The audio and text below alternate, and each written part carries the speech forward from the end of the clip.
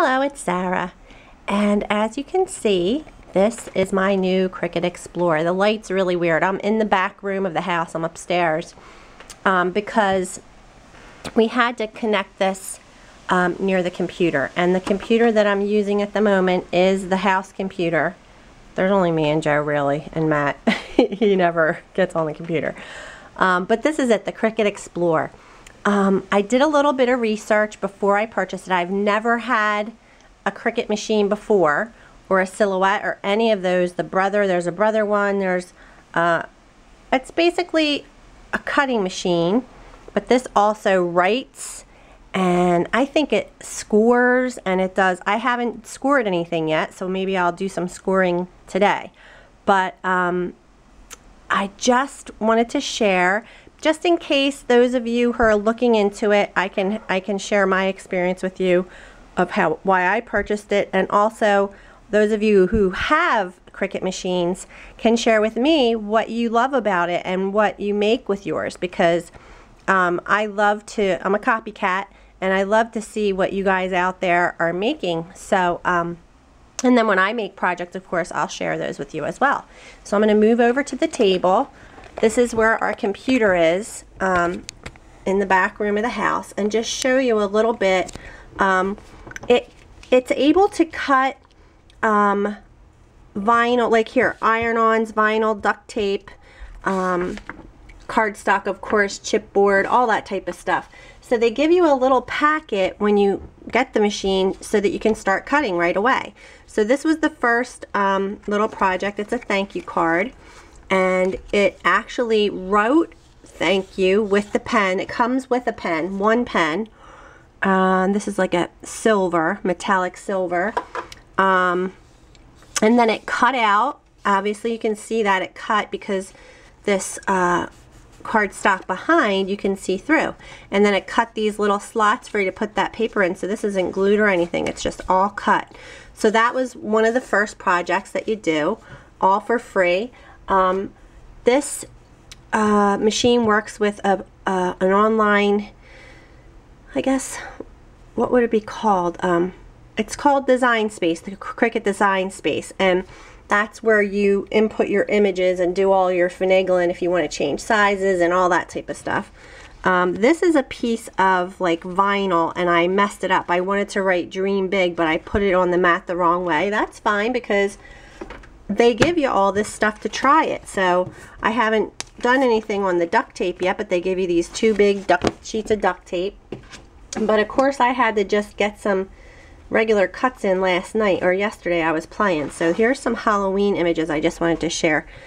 I am so impressed with this machine. Um, it all started when I, after I did my um, Peachy Keen um, stamp share with you guys, one of my subbies, and I don't remember who, had mentioned that Lourdes Calazo uses them all the time, the Peachy Keen stamps, because she has the Create a Friend um, Cricut cartridge and she makes these layouts and cards using these friends and she stamps the faces on them. Because as you can see they kind of punch out the well this is the create a critter cartridge um, so I did this little Halloween owl, but they kind of punch, well this one's not a good example.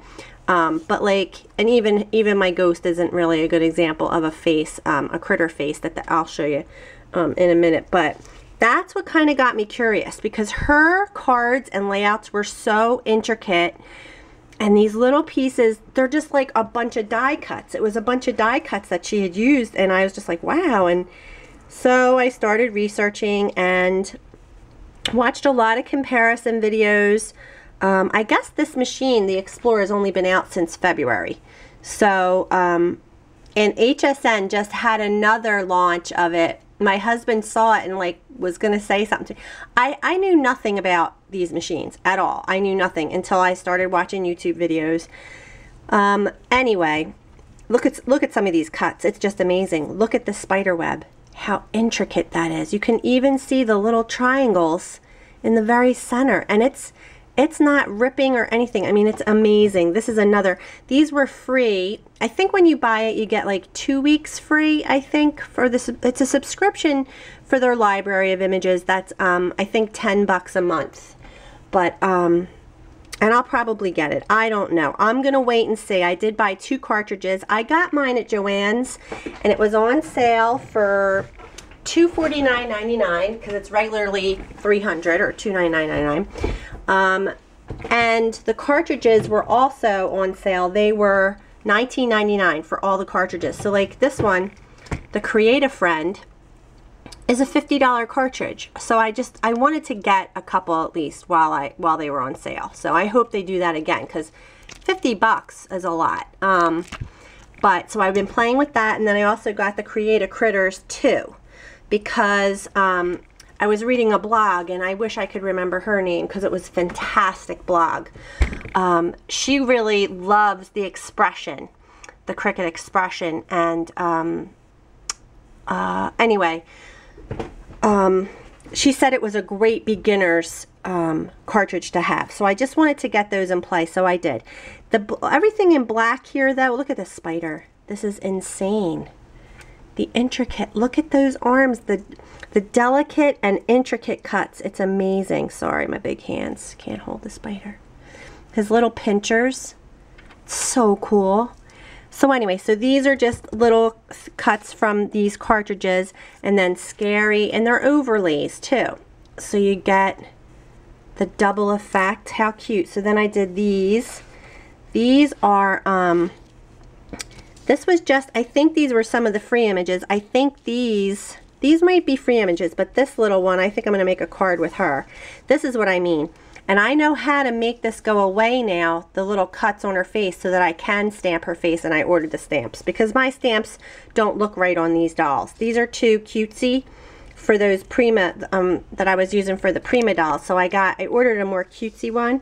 But look at this, how adorable. I'm going to add stickles. I should have used like a glitter for the a glitter paper for her dress and I think I'll do it again but um, so fun look at the overlays there's like a shadow behind um, this is amazing. Look at this these owls. So amazing. And then the last thing I'll show you is because I just wanted to make this quick. Um, I, I did it in like a much bigger size. I wanted to see what it looked like in a bigger size. So I I found this word hoot. And then I did the same. Just pulled it down. You just put a box around it and make it big and I just I was kind of going for like an 8 by 10 maybe I could frame it 8.5 by 11 ish that is so cool you guys. So um, that's my latest adventure. My husband is the sweetheart that said God so I did and uh, so it's like Christmas in October. Um, but that's what I figured like maybe I could um, make some Christmas card stuff. I'm going to look, so I've just done all that Halloween stuff, but I know there's going to be um, Christmassy things in here. And I should probably, see look, there's, oh my god, they're so cute, these little people. Oh my god, they're so cute. A birthday clown, a baker, a princess.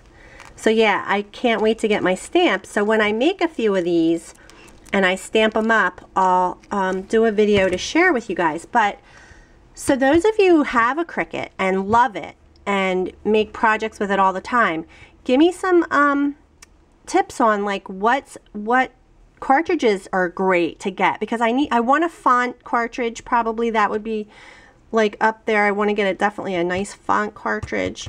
I would like like a um a swirly like to make like leaves and like flourishes and things like that. I think that would be a good thing to have. So any ideas, let me know. And that's it for now. Thanks for watching.